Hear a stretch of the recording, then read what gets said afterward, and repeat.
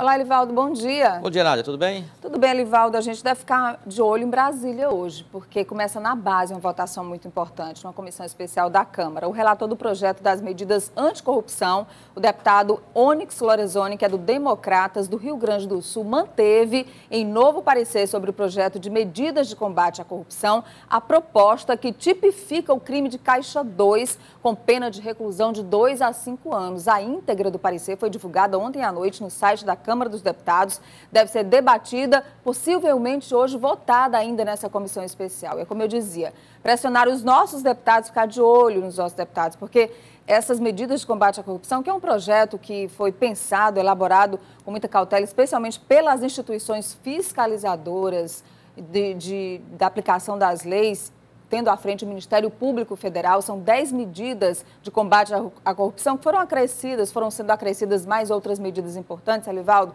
Precisa também de 2 milhões de assinaturas, então a participação popular vai ser muito importante. E nesse momento que o Brasil atravessa todo esse essa lavagem que está sendo feita, ela é realmente de, de, todas as coisas ruins, ou de parte delas que aconteceram nos últimos anos, é muito importante que a gente fique de olho nisso. Esse projeto é muito importante que passe na Câmara dos Deputados. E, e pela própria tramitação, Nádia, é uma, é uma matéria que, como poucas, foi debatida, discutida, surgiu da sociedade. É um anseio da sociedade que foi reproduzido e traduzido nesse projeto que está nessa comissão especial da Câmara dos Deputados. Eu acho que ela deve ser aprovada e até aperfeiçoada em relação ao relatório do, do, do deputado Onyx Lorenzoni e para ir para o plenário já de uma forma consenso para que seja aprovada rapidamente na Câmara e no Senado e possa vigorar como lei nacional.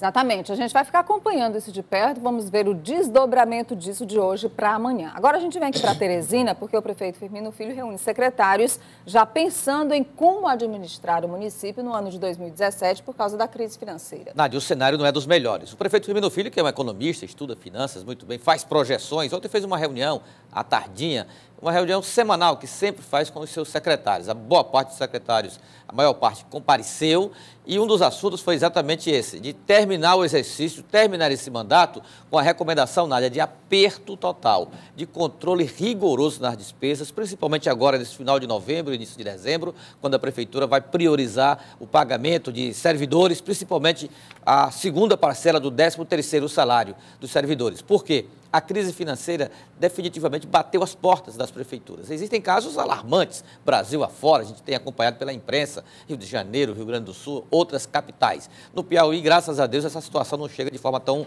é, tão drástica como já está ocorrendo em outros locais, locais é, Brasil afora. No entanto, o prefeito faz para 2017 um cenário nem um pouco animador. Mas, com relação a obras em andamento na capital, a prioridade é de concluí-las o mais breve possível, principalmente a essas ligadas ao sistema de transportes coletivos, como os terminais de integração e os corredores os de corredores, transporte. Corredores, né, Livaldo? Esses os corredores precisam, precisam ter terminado. Correto. Olha, o Teresinense tem penado, viu? É, em horários de pico, muito grande, passar né? aqui na Miguel Rosa, ali pertinho do cruzamento ali com Joaquim Ribeiro, passar na Kennedy é complicado. A gente sabe que toda obra traz um, um transtorno para depois trazer uma melhoria, mas está tá demorando também para terminar. Tá, tá. Deu uma parada, não tem, não tem a menor dúvida. Mas a prefeitura promete aí até o final do ano concluir essas obras ou pelo menos adiantá-las. Agora, Nádia, com relação à equipe, o prefeito prefere continuar fazendo mistério, mas esta semana ele deve confirmar, exemplo do que fez semana passada com o secretário Kleber Montezuma, definir mais dois ou três secretários de áreas tidas como fins importantes, estratégicas para a prefeitura. Por que antecipar esse anúncio? Exatamente para evitar especulações ou um clima de instabilidade na própria secretaria ou órgão público.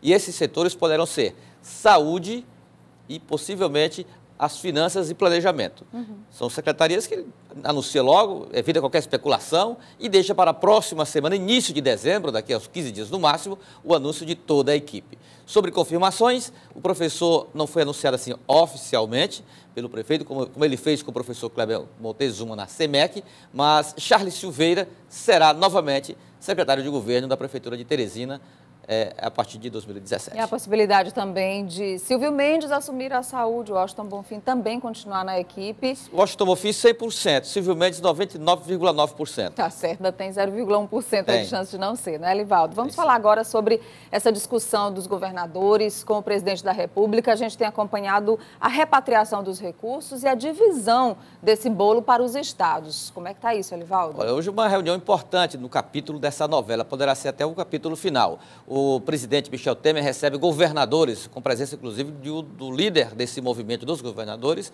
o governador do Piauí, Wellington Dias, para tratar desse assunto, para exatamente evitar a judicialização desse pedido dos governadores de pleitear a parte referente à multa da repatriação.